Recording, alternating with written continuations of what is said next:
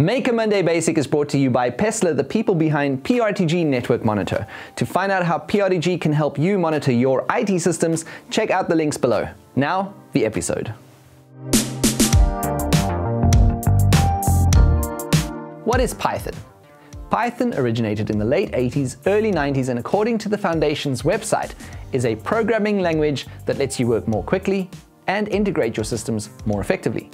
Some features of this language include object orientation, structured programming, dynamic typing and binding, and garbage collection. So what are the origins of Python? Once upon a time, there was a Dutch programmer named Guido van Rossum who was a huge Monty Python fan and who was bored over the Christmas holidays. So inspired by the language ABC, he sat down and created Python. The idea behind Python was to create an easy to read and understand and therefore beautiful programming language. The Zen of Python is a collection of principles on what is considered to be Pythonic code. They can basically be summed up as creating concise code that does not require further explanation. Knowing what the essence of Python is and its principles helps to understand its use cases and why it's among the top five programming languages.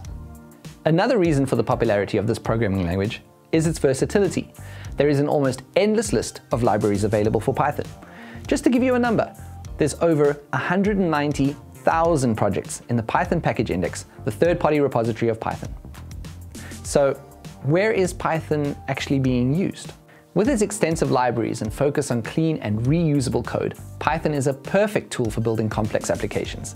Creating extensibility was one of the reasons for writing Python, and now is one of the main advantages when integrating different sources into one code. This also means that Python can be used across different platforms and operating systems. These operating systems include everything from Windows and Mac to Unix and Linux. Ease of use. Is your code going to be used by people with different levels of programming language experience? Think about writing it in Python. Because it is so simple to read, it is an appealing language for beginners and for experts. This also includes code that may need to be maintained and updated frequently. This also makes it a very robust language that is easy to test and to debug.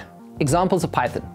Some of the most famous apps that are at least partially based on Python include Reddit, Instagram, uh, they use Django, a Python web framework, Spotify, and Netflix.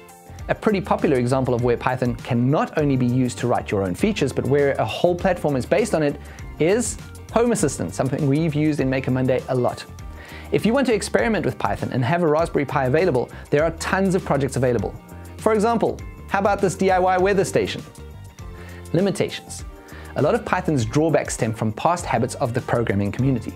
For one, limitations of Python include the prevalence of other languages in certain computing fields. Additionally, as Python is considered a safe language due to its garbage collection and the dynamic binding, Python can be sluggish with a huge overhead if, for example, compared to C. So anything that needs to favor speed and resource allocation over code prettiness is probably not a good use case for Python. And that's Python. Thanks for watching. If you like this kind of content, click on subscribe below, click the little notification icon, and we'll see you soon for new episodes of Maker Monday.